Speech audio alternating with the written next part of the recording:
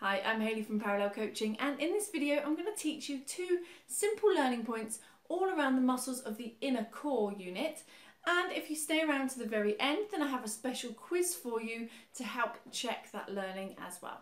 Learning point number one, the three layers. Most people don't understand exactly what's going on in the core. They think about core and they know that it's the midsection, but they don't necessarily understand the layers that are occurring. So the first layer is that you have the very deep muscles, and these are position sense muscles. These are really tiny muscles that help us understand where our body is in space. We don't train those, they happen as a result of moving and reacting to our environment. The second layer is something you definitely need to know as part of your level 3 anatomy and physiology, and that is the inner core unit.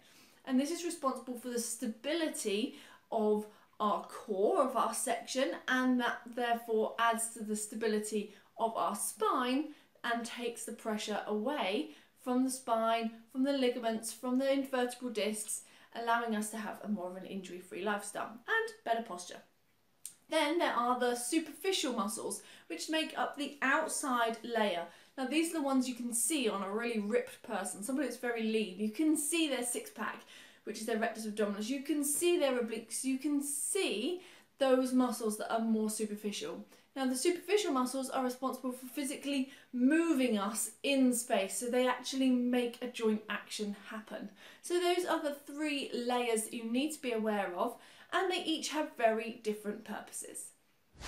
Learning point number two, inner core unit. Now the inner core unit is the second of the layers we just went through, and it has four muscles as part of it. Now, it is a really important one to know for your level 3 anatomy and physiology exam, and you need to know where each of those four muscles are, which we'll go through now. But you also need to know the purpose of that core. So this inner core unit, its purpose is to create something called intra-abdominal pressure. So these muscles tighten, which allows the pressure to be increased. So as the pressure in the center of our, of our torso increases, it protects and stabilizes our bones, which is our spine, our ligaments, and our intervertebral discs, which means that we're less susceptible to injury. It also keeps us in a nice upright posture. So that is what the purpose of the core unit is. But let's break it down and find out exactly what it is. So first of all, at the top, you have the diaphragm. So the diaphragm is literally where the ribs separate in front. Then you have the pelvic floor, which is at the very bottom of your inner core unit.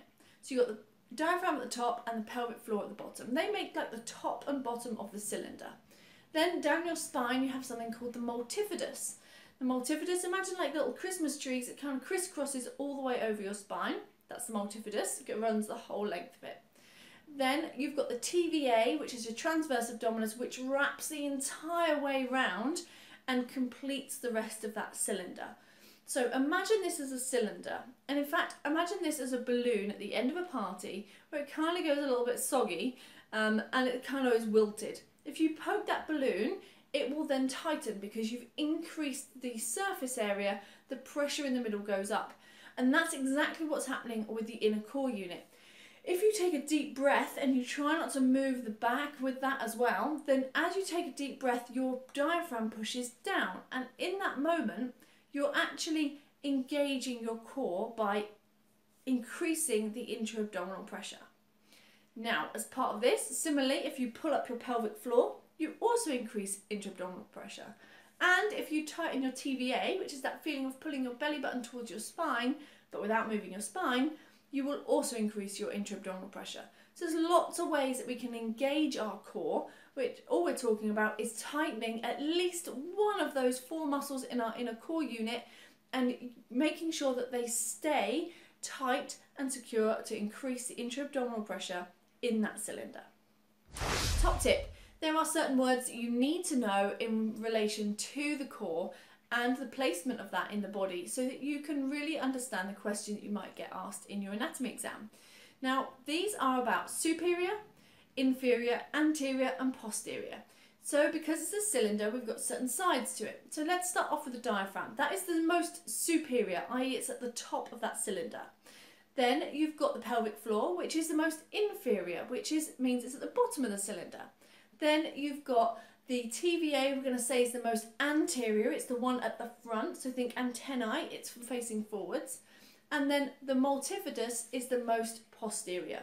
You need to know those words because they are likely to come up as a description of where in the inner core unit it is. Learning point number three, the six pack. So the rectus abdominis gets a lot of attention because it's right on the front and generally we can see it in a very lean person. So this six pack down the front is actually a very superficial muscle. It's not part of our inner core unit and that's something to definitely remember. But this six pack muscle is responsible for a big joint action of flexing the spine, which means if you want to work that muscle, instead of doing stability based exercises, you want to work with the strength of being able to do flexion exercises around the spine, like a crunch, for example. Now that you know everything that you need to know about the muscles of the core, let's check your knowledge. And this is a classic question that will come up in a level 3 anatomy and physiology exam. So all you've got to do is pop your answers below in the comment section. So which of the following forms the inferior aspect of the inner core unit? So have a little think about what you think the answer might be, and then you've got the answers down here to choose from. Is it A, erector spinae? Is it B, diaphragm? Is it C, external obliques? Or is it D, pelvic floor? So pop your answer in the comments below. Have a good think about it. Pause the video if you need a little bit of extra time and I'm going to tell you what the answer is right now. So the answer is D, pelvic floor. And the key thing to think about when you're looking at this question or you have a similar question is that not only do you need to know about the inner core unit, which we've taught you on this video, but you also need to know the terminology of inferior. So remember we were talking about superior, inferior, anterior, and posterior. You need to know each of those in relation. So, pelvic floor is the lowermost of the muscles within the inner core unit, which makes it the most inferior. Um, so, that is the answer to this mock question. If you are looking for more mock questions just like this one, then click the link that is with this video and you'll be able to download 101 mock questions and access them straight away. Please leave us a quick comment below letting us know the main learning point that you got from this video. If you like this video, make sure you hit the like button, share with your friends, and also don't forget to subscribe. Thank you so much for watching, and I'll see you on the next video.